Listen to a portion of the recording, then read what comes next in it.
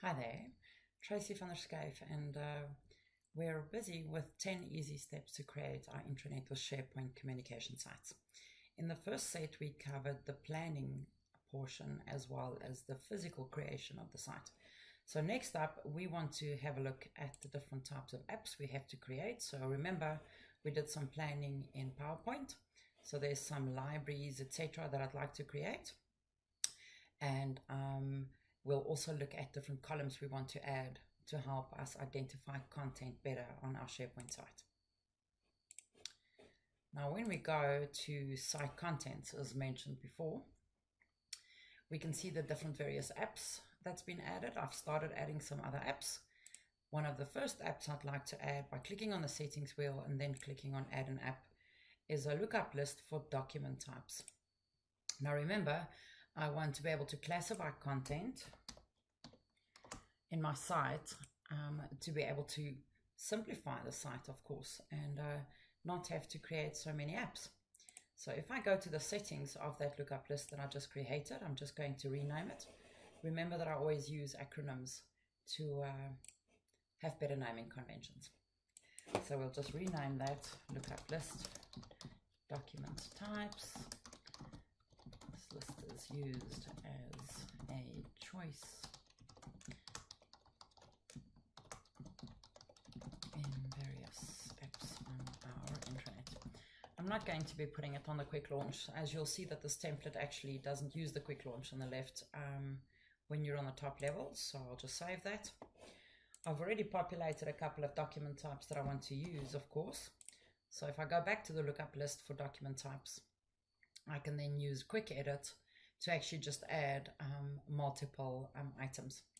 Now the important thing to remember about lookup lists is that even though I can um, populate this lookup list alphabetically, if I ever had to add a new item, it actually wouldn't be alphabetical, which is a tricky thing when you use it as a lookup column because the lookup list actually uses the default view in the choice dropdown.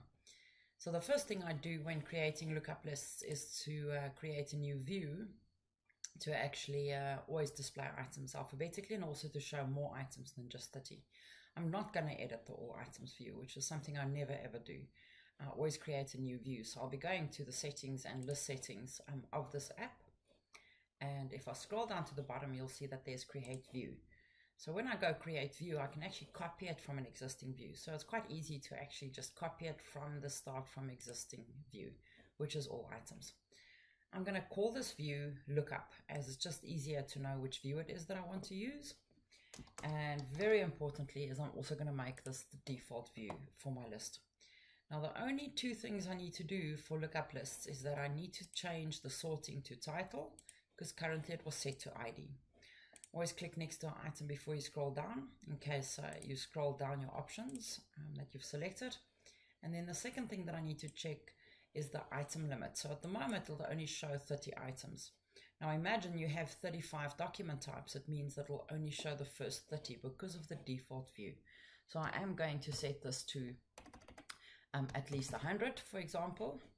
So um, that would be important for us to actually um, use that so that it displays all the items in our list. Now that the list is created, this is my lookup list. I've populated some items and I've always also changed my default view. Now we can create our document library. I'm not going to use the standard library that's built with the template. Um, I'm going to create a new library for my corporate documents. Again, using uh, a good naming convention. I'm not going to create it with full name once the app is created, so this is a document library, I'll then go and rename it by going to the settings of that app. So once in the settings, I can go to list name, description and title, and I'll rename the app. When I create apps, I always put purpose and document owners in. So to store all corporate information for intranet and owner um, as per departments identified. I'm not going to display it on the quick launch. So important thing here that I want to show you is that I'm now going to add those lookup lists um, to, and that's interesting that uh, that page didn't display. I'm now going to add those lookup lists that I've created. So in my document library, I can now go and create a column and I can add that column as a lookup. So when I choose lookup, it'll surface any columns that I've created on the same site level. So once I've chosen lookup, I can actually go and have a look and say, okay, I want the departments lookup list. Now I've created the departments as well as the document types that I just created. So this I will call um, departments and um, it's going to look at the title column. This is important that you change ID to title column. So I'm going to look at that departments list that I've created and I am going to um, look at the title column in that. I'm going to also add document types.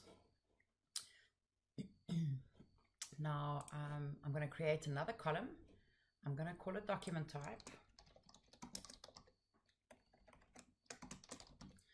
And again, it's a lookup. And I'm going to choose lookup list document types. And remember that we need to choose title, not ID. Definitely a bit of a flaw that. I hope that they'll fix that soon.